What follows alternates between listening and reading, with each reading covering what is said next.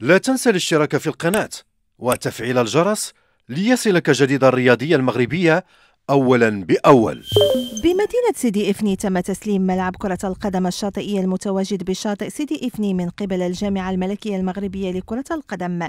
ملعب سيدي إفني الذي سيكون جاهزا لممارسة التدريب وإجراء مباريات كرة القدم الشاطئية يهدف لتكوين أبطال المستقبل.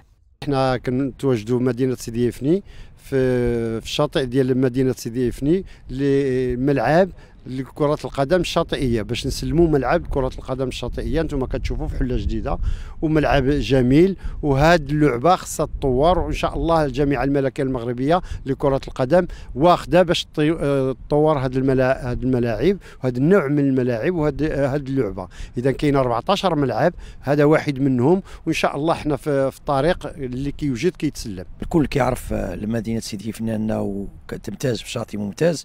وهذا الملعب هذا غيستافدوا منه مجموعة من الأطفال ومجموعة من من جميع نواحي الجهة. آه، كما يعرف الجميع أن مدينة سيدي فني آه، سنة آه، تقريبا 2000 فازت ببطولة كرة القدم الشاطئية. واليوم هذه لعبة جديدة واللي بغات تطورها الجامعة الملكيه المغربيه لكرة القدم.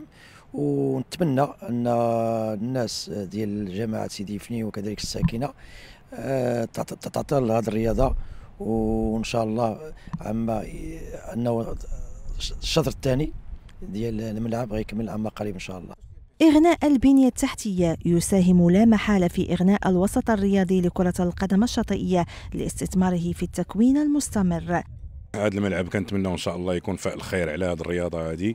وكما كما كتعرفوا انه السنة هذه بدات واحد البطولة آه، ديال كرة القدم الشاطئية في آه، في الموسم الأول ديالها بعد ما كانت بطولة تجريبية السنة الماضية اليوم بطولة كتمر عندنا في أحسن الظروف ساكنة سيدي إفني كلها أمل في خوض غمار تجربة جديدة تمنح الخبرة واللعب داخل ملعب احترافي لكرة القدم الشاطئية.